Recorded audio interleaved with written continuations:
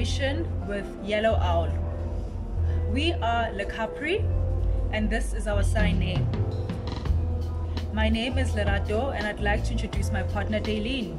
Hello, everyone. I'm Crazy D, and our guest today is John. Hello, how are you? Hello. Hello. Hello, hello. Thank you for welcoming me here in collaboration with Yellow Owl and the Capri. Thank you for your time. Mm, I have goosebumps. This is my sign name. John is my name.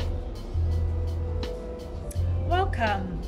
We are excited to have you here and look forward to asking you some questions.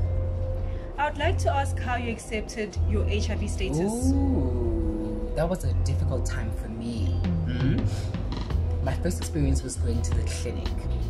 I got tested. Mm. The doctor did not give me counseling. He broke the news that I was already infected with the virus. I was devastated and very, very emotional. I went home and I cried. Mm. From that point, I realized there was no need to worry because this experience is common throughout the world. I had to accept it. I had to.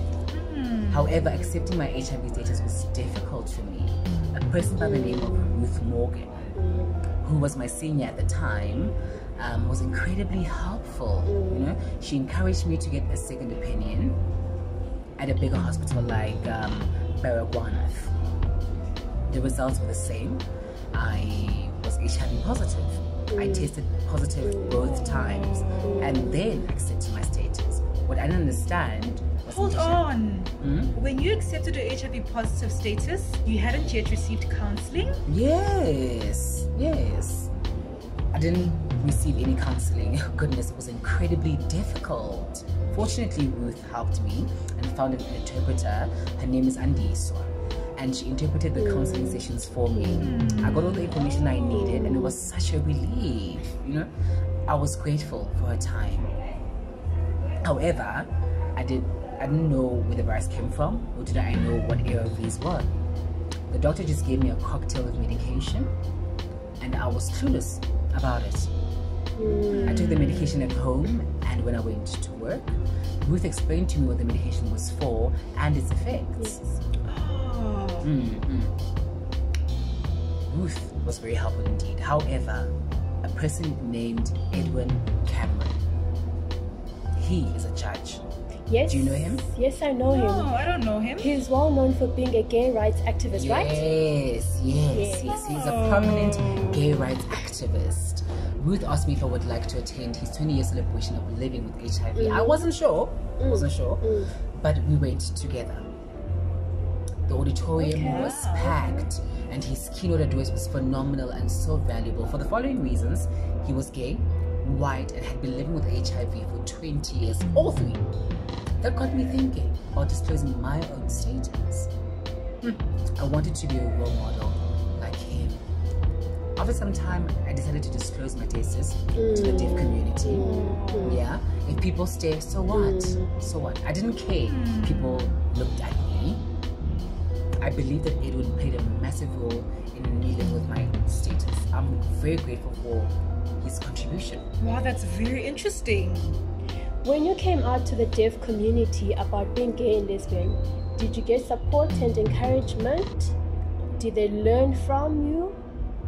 For example, if other deaf people have the same experience as you, where would they go for counseling? Where would they go for counseling and how does it happen? Ah, okay, okay. Thank you for that point. Firstly, I am gay. Hmm? I disclosed my HIV status on a TV program called DTV.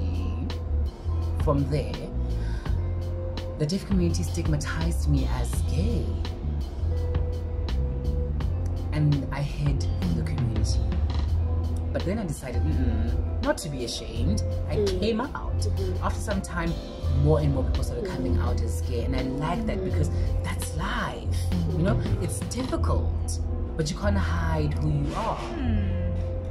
More and more people started coming out, and they started working at Gala, the Gay and Lesbian Center. Hold on. Please tell us more about Gala. Okay, thank you. GALA stands for Gay and Lesbian Archive, Mhm. right? They collect and record information and narratives about gay and Oh. lesbian people. Oh. My project focused on a deaf Mm. group. Yeah. Ruth gave me the opportunity to be involved in the deaf project, Mm. including the gay and project, sharing the oral Mhm. history. Mhm. Mm. Mhm. There was also the HIV positive project. These were the two aspects. The project was were targeted at schools regionally and provincially without any funding. Mm.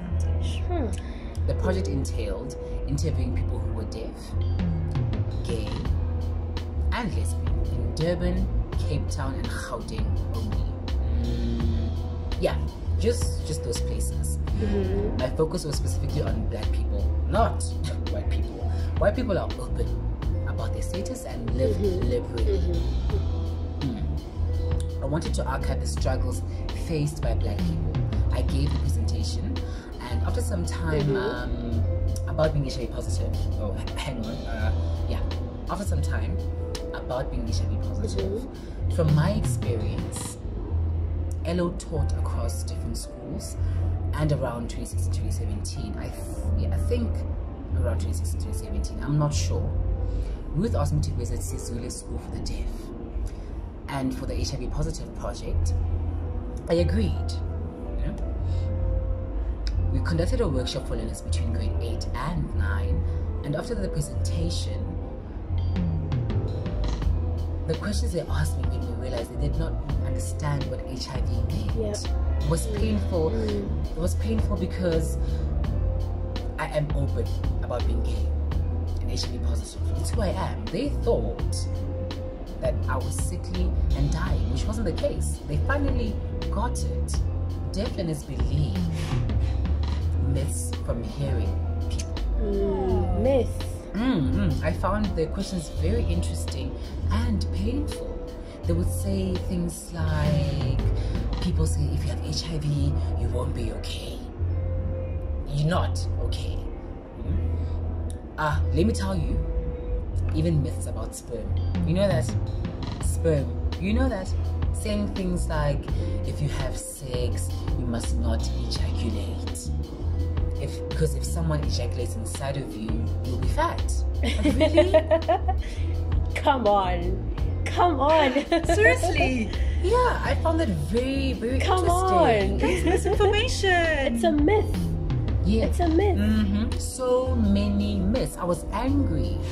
After a while, I started attending workshops presented by hearing people. I spoke boldly at conferences and blamed hearing people for the myths within the deaf community. Deaf people believe these myths.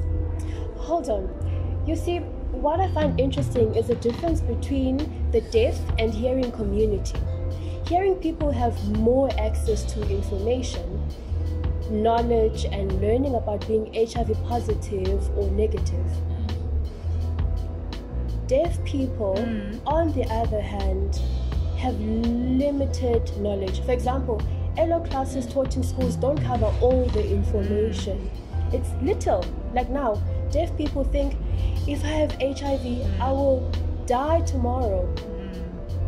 So is it an educational issue? Mm. I agree with you. I agree with you. I'm concerned about LO. Personally, I'm fed up with what I see in schools. LO is most effective when taught practically. Textbooks drop a lot of information. The reason being that such topics touch on sensitive issues like vaginas. That's true. Yeah. Yeah. I give my when I give my presentations, um, direct and Mhm. explicit. This is a Mhm. vagina. Any growth or swelling is dangerous. Watch out. This is a penis. I'm direct. Hearing people always cringe when I become too graphic, but you can't. Mm, mm. I didn't care. I continued teaching, and the deaf deafness finally understood. Yeah, What causes confusion is terminology. Yeah. That's true. Yeah. That's true. Yeah. That's true. The Department of Health also causes confusion by using difficult terms. It's a problem created by them. Deaf and hearing alike is confusing the same, both and deaf and hearing communities. The same confusion. You see, AIDS is just that. It's straightforward. HIV, on the other hand, can either be positive or negative. The distinction is very important. Terminology about HIV brings fear among people. What is that fear about? Hmm. There, you have it. So, during the pandemic, have you been able to access your treatment? Oh my goodness. My experience last year. Mm. The sudden pandemic caused a lot of emotional anxiety because I had to stay at home. True. Fuck. What could I try to do? Mm. I can imagine. Yeah. When President Ramaphosa announced the strict lockdown regulations that no one was allowed to leave their homes, if you did, you'd get fined. Fuck. What was I going to do? My treatment supply was running out. Shit. You can imagine. Shit. You- If the police arrest me, what will I do? My hearing doctor reassured me. Name David Khadebe. We texted via WhatsApp. He told me to relax. Luckily, you made contact. I was worried about getting my medication. He told me to relax and calm down. How was I going to get my treatment? How? Don't stress, calm down. Thank you. I was grateful for the reassurance. I went back on my treatment. It was such a relief. My doctor told me I was allowed to leave the house to go to the clinic. Yeah? I needed a written permission from the doctor. How would I go to the clinic without it? Mm, yes. Anyways, my daughter again reassured me and told me it's good to go. I asked him what would I what would happen if I get fined and arrested. He told me not to stress. I Okay. left home relaxed. I was relaxed, I arrived at the clinic, alright, collected my treatment, everything was fine. It was such a relief. I had to come straight home. hmm And how has the pandemic and lack of treatment affected your mental health? You Yo. didn't have to pull through, and how? Oh, yo, yo, it was extremely difficult. Life was difficult. Did you get any counseling? No, not at all. Hmm. Thanks to the advice from my doctor. He sent me step by step instructions on how to do it. No problems. We've known each other for many years. How? How long have you been living with HIV? for 20 years. 20 years. That's amazing. Shit. 20 years. Yeah, 20 years. I'm still sexy. That's amazing. see. Yes, you're still sexy. yes. You have been HIV and a gay activist for 20 years. Wow. Damn. That's amazing. Thanks to Edwin. It's because of him. You can ah. imagine. That's true. I didn't know. People were dying around me. It was scary. Because of Edwin, I'm very grateful for him. What saddens me is that he's no longer there. We've never made contact. So, sure, it's been a struggle. And up until now. I have experience working at Gala. Yes. Gala is an organization for gay, lesbian, and LGBTQI people like myself who have already come out. I decided to resign because of contractual problems, chaos I didn't want to get involved in. And that was the end of it. More people started coming out. Seven transgender people. That was my first encounter with transgender people. I've never heard of them before. Transgender. Let me tell you, I tried with my one friend, Jabu, a transgender male. we knew each other and I got his thoughts about starting a project. He agreed. The following year, which is now two years ago, Mm-hmm. with the seven transgender people. Okay. You can imagine. Seven. Amazing. Not too old, younger age around. Yeah. Yeah. Yeah. 18, 18 to, 18 yeah, to 30 yeah. years. Quite young. Okay. I had contact with seven people and everything was good. We approached an organization called Iranti Yes. Yes, that focuses on transgender people to attend workshops. You can imagine training, workshops, and sharing of experiences, Mm-hmm. which is fine. Which is fine. The second time, yeah, the next time, we were disappointed. Why? Why? They vanished. They disappeared. Why? They disappeared. No, I tried. They, I messaged them, asking what's happening. We are looking for funding. We need money. Okay, I waited. We got the transgender project with three people. Oh. The three names were Ava, Mhm. Kate, Mhm. and Danny. Mhm. All three are transgender and need body modifying injections. Oh. Mm. The other four were not truly transgender, but I helped them anyway. Mm. All good. Mm. The problem was no interpreter was available. Oh goodness. No access. Wow. Yes, that's true. I tried and asked Petri to interpret. He willingly interpreted for us until the end. The next time there was no budget. Which was which I found so strange because I was under the impression there was already a budget. That's a big problem experienced Yeah. by many in the gay and lesbian community who need to share their experiences. No access to psychologists, Mm. mental health Mm. care, body Mm. modification. Mm. However, organizations misuse funds. Why? Mm. It's quite sad. They should be supported more. What I find interesting is LGBTQI organizations run by hearing people have access.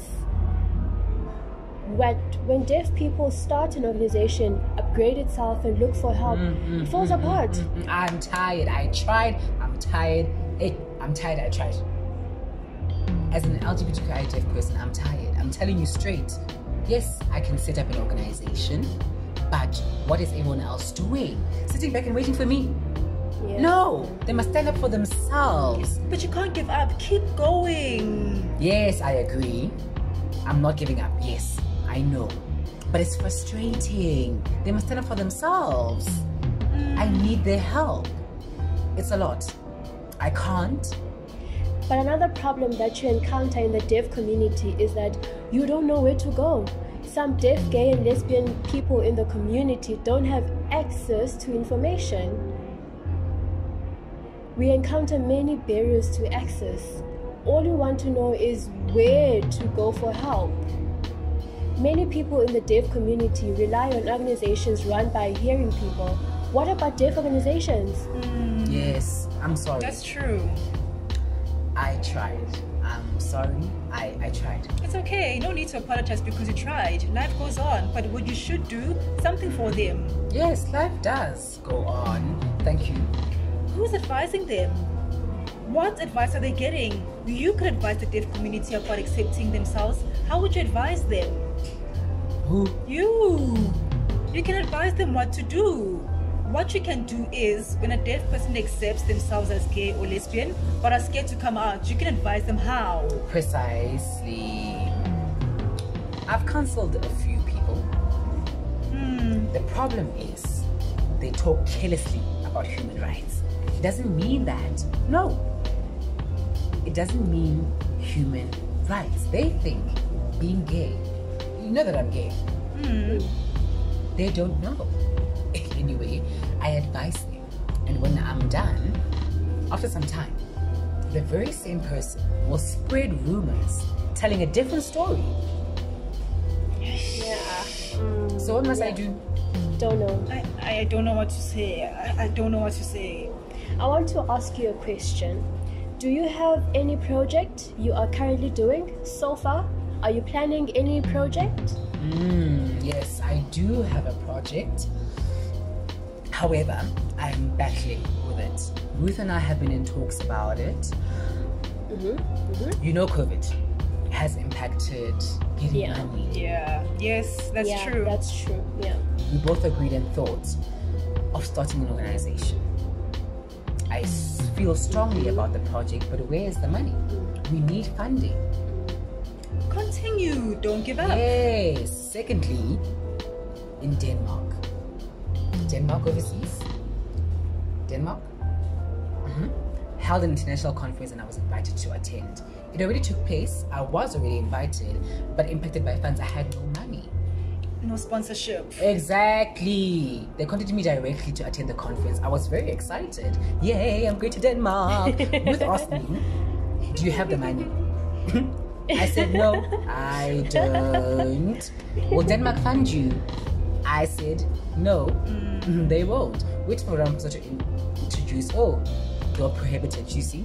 Lockdown. Coronavirus. Coronavirus. hmm So I stayed. They asked me if I could join them via Zoom, but we don't have funds. Really? I never made it. Because of lockdown. I understand. So even during lockdown, they continued with the event. They couldn't wait. The work continued. Precisely. Mm-hmm. Even when different entities received funding, they were stuck. They had to find a way and continue. Challenges mm. will always be there. Mm. Continue and keep fighting. Precisely. Precisely. The deaf community needs you. Thank you. Yeah, that's true. Thank you. When I die, you guys must take it. No, you need to pass it on to them. Ah. They need you. If you die, you will still leave a legacy in the deaf community still. Exactly. No. Mm. I'm, I'm battling. Your passion will fuel you. You empower the deaf community by also visiting deaf schools. They will gain something and learn something from you. Have motivational talks at school. I hope you continue doing it. I agree. I agree. You are my role model. Oh, yeah. Yes. Yeah. oh. Hmm? Do you know what I experienced during COVID? You know, as deaf people. Sorry, I'm getting ahead of myself. It's okay, it's fine. Feel free. Continue. Thank you, thank you, thank you. Go ahead, continue. Okay. As a deaf person, living through the pandemic, have you visited a clinic wearing a mask? No, It's a I haven't experienced huge it. communication barrier. Mm, wearing a mask. and you must use a pen and paper. Deaf people have different ways of communicating. Some are oral, others prefer signing with clear facial expression.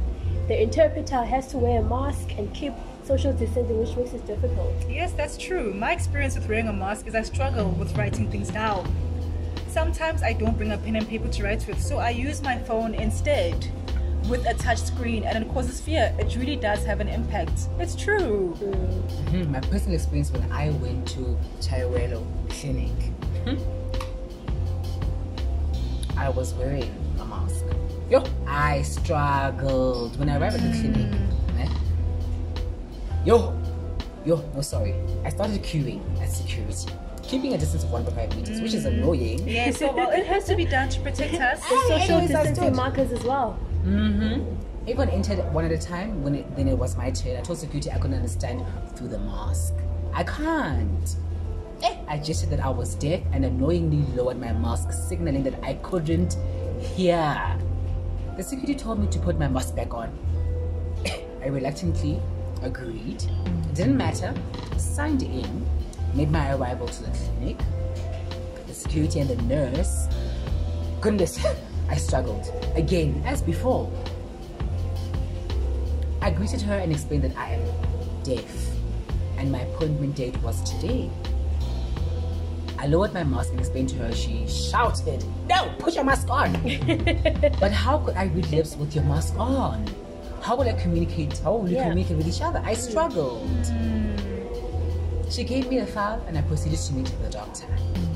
Then there was a new doctor. I sat down and greeted. Hello, how are you? I just said that I was deaf while wearing my mask. Sorry, what? I lowered my mask and mouthed, I am deaf. Oh, I just did it with my body. Yo, I really struggled. It was a real struggle for me. Another struggle. Sorry, we need to take a break. We will be back. I must relax.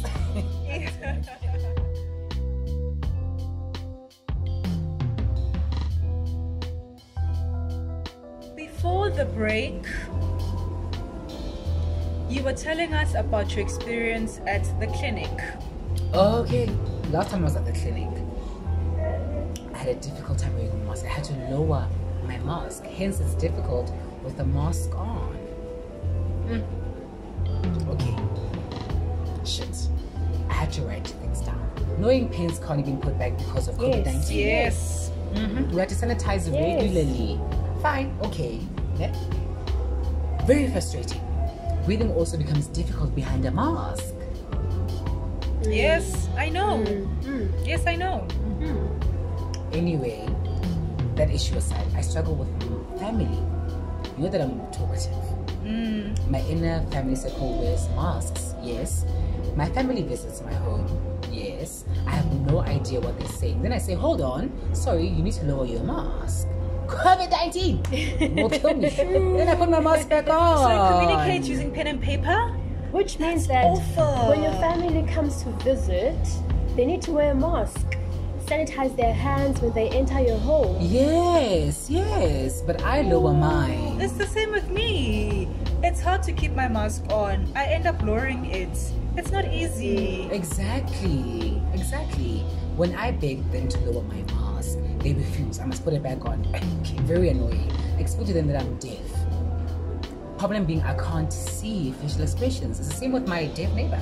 My other friend who's deaf, when we meet and chat, we lower our masks. Hi, you see? I explain to them I'm deaf and I need facial expressions. That's true. I don't care. I lower my mask That's and continue true. chatting just fine. That's how it usually is with my family. When but when my deaf friends come and visit, they lower their masks and we chat. When a family member visits, hey Rita, put your mask on before you get COVID. Taken by surprise. You put a mask on. That's true. it's annoying. what we should develop is a see-through mask. Maybe that will help us. But the problem is we have see-through masks. The face the shield. vapor fills the mask and there are drops of saliva that cover the shield. We can't see the face or facial expressions. That's why deaf people prefer lowering their masks. It's the only way, but COVID is still there. Yep, it's a problem. Yeah, indeed, indeed.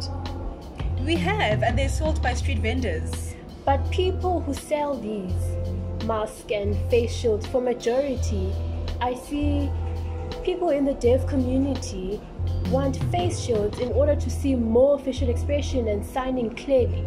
Remember that most deaf people, that most deaf people love touching their faces. So wearing a mask hinders communication. Exactly, exactly. they lower their mask. It's the only way. Exactly. Imagine. Yeah, I also wanted to ask you, Nam, have you been vaccinated? I Oh! haven't. I haven't. I, don't know what vaccination is. Mm-hmm. Um, I, I haven't. um, was announced that we must get vaccinated. All right. I, a hearing person told me to get to not get vaccinated, or else I would die. I'm like, really? I looked at them like, I'm not going to listen to you. I'll see what happens at the clinic. I'll see there. I sent my doctor later. Told me to get vaccinated. I remember he said I must balance my body and my immune system and take care of them. Okay, I agreed. I made my way to the clinic. The nurse helped me, took my weight. I was ecstatic. I weighed 70.6 kg. Luckily, luckily, you are still sexy. My body was checked. Everything was perfect. Perfect. I went and joined a very long queue. Fuck. I waited. Finally, it was my turn. I filled in a form with all my information. The nurse asked me directly if I was a HIV positive. I said yes. Directly, I said with no problem. Yeah. I can't lie. Yes. I said yes. Yes. Took no to all the questions that did not apply, and when I was done, I joined the queue. It was my turn to get vaccinated. I was scared. Um, the injection wasn't bad, not bad at all. I just didn't know the name of the vaccine. I didn't know which vaccine I was given. It's written on the card. Hold on, wait, wait. I didn't know the name of the vaccine.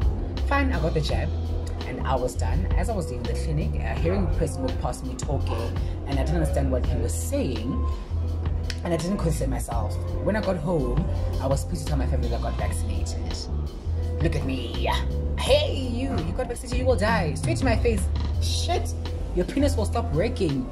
I looked at them like, and dismissed them. What's your problem? I asked. Nonsense. Anyways, I was happy to tell my friends you'll get erectile dysfunction. Goodness. That's rubbish. It's the same issue. Remember we talked about myths, remember? Yes. Mm. It's, a, myth. It's a myth. It's a myth. Do you get me? I want to ask you a question about the vaccine. Did your doctor allow you to get vaccinated? Would being HIV positive affect your system? Yes, my doctor agreed. The next day, I did something naughty. I drank alcohol and I wasn't supposed to. You're not supposed to drink. Ah, hold on, hold on. I, I was informed to wait seven days. or 14 days. I didn't listen. You see. I had some alcohol and felt tipsy. And when I was done, I felt fine. I went home and I slept, but I had nightmares. I woke up quickly. I woke up quickly. Shit, what's happening? What's happening? What's happening? Shit, shit. That was That's awful. that's why I was getting nightmares. Sure, I was wide awake the following day. I put on my face, greeted everyone. I was shy. I was actually very shy. Is everyone good? You weren't impacted at all. Mm, From there, I was relaxed. I had no issues at all. No, nothing, no impact. Okay, perfect, perfect. I must get vaccinated soon. Yes, I must. All good. Everything was fine. There are two kinds of vaccines. Um, Johnson, which is good, Johnson, and the other one is Pfizer. No, yeah, the first one, yes, that one. That's the one I got. Johnson and Johnson. It was my second jab. Pfizer was my first jab. Once I was finished, then you have it. I feel good. I'm alright. Perfect. I feel good. Daline? Thank you, thank you. Wow. you. I believe we both learned a lot from John, right? Absolutely. You were amazing. We loved your interview. Brilliant. Mm. Mwah. We appreciate. Oh, Thank you for your time. Thank you for sharing. We appreciate that. I hope that the audience learned a lot from you. Thank you. I hope you will give me a gift. Yes. Ah, oh, please. please. Oh, please. Oh, please. we'll give you eggs. Ah, excuse me. I'm a man. A handsome man. My organs are the man. Look at him. okay, okay, okay. Thank you for tuning into our podcast. We'll probably see you next time. Cheers. Bye. Bye. Thank you, thank you, thank you for watching our podcast. You can watch us on Facebook, YouTube, Instagram, and Twitter. Hashtag Ale. Capri. Our next interview is with Simpiwe Mkize. You can watch through Facebook, mm-hmm. Twitter. Mm-hmm. Also, like and follow us. Please, please tune in. Do not miss out. Same place, same time. Bye bye. See you next week. Bye.